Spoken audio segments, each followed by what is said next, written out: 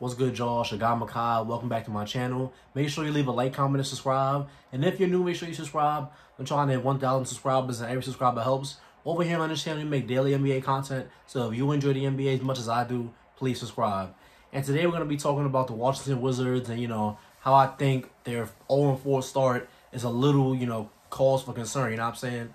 So the Washington Wizards in the offseason, they got Russell Westbrook. Uh, they re-signed Davis Bertans. They you know, they just improved their team overall because they traded John Wall for Russell Westbrook. Russell Westbrook is better than John Wall. Obviously, they won the trade. But they've started off 0-4, so that's really a cause for concern. And, you know, it's not like Russell Westbrook has, you know, taken a step back or Bradley Beal has taken a step back. Bradley Beal is averaging, like, 32 points, like, on good efficiency. I think about 44% efficiency. So, you know, it's not amazing, but that's solid efficiency.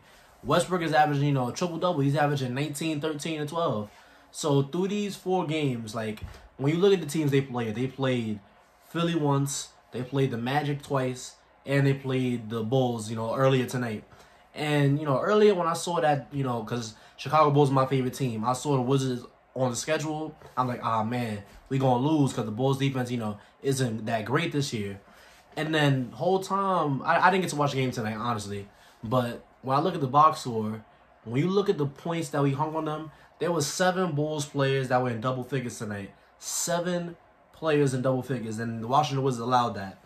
So the big issue that I have, you know, and the big concern I have with the Wizards is their defense.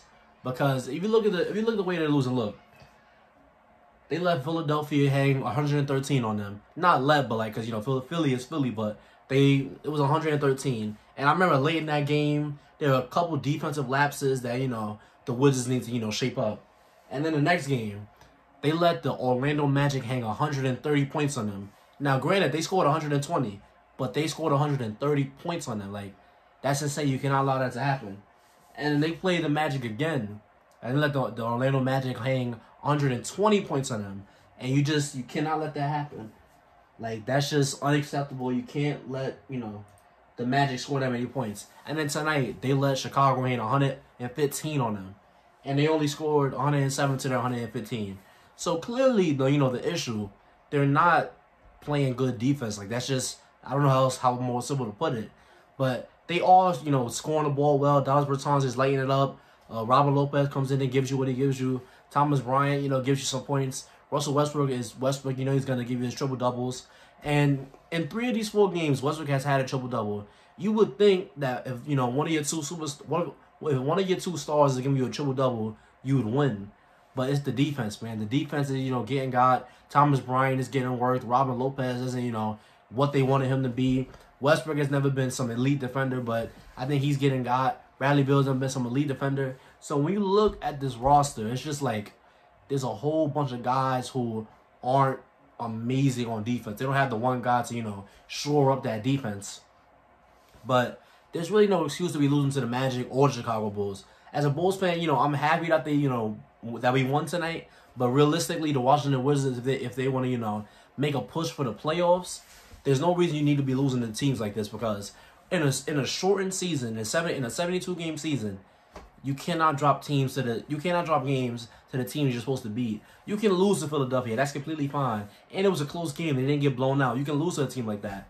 But when it comes to teams like, you know, let's say the Magic or or the Hawks or the Bulls or the Hornets, like teams that, you know, you should be better than, like teams you're clearly better than, you can't lose those games or you're either gonna wind up with a low seed facing a great team in the playoffs or you're gonna miss the playoffs completely.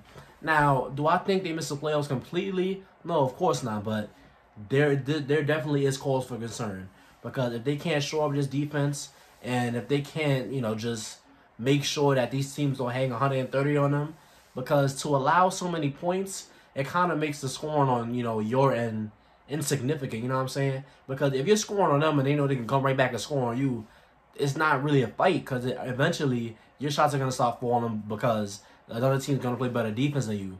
But if you're playing bad defense the whole way, their shots are always gonna be falling. It's not gonna work. It doesn't work like that.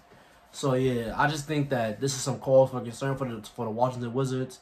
Wizards fans, if you're a Wizards fan seeing this video, hey man, y'all gotta get it together over there. If Scotty Brooks somehow sees this video, you got to get it together, man. Right, draw up some real plays, cause I hear that Scotty Brooks is a horrible coach, and you know he doesn't want offensive sets something like that.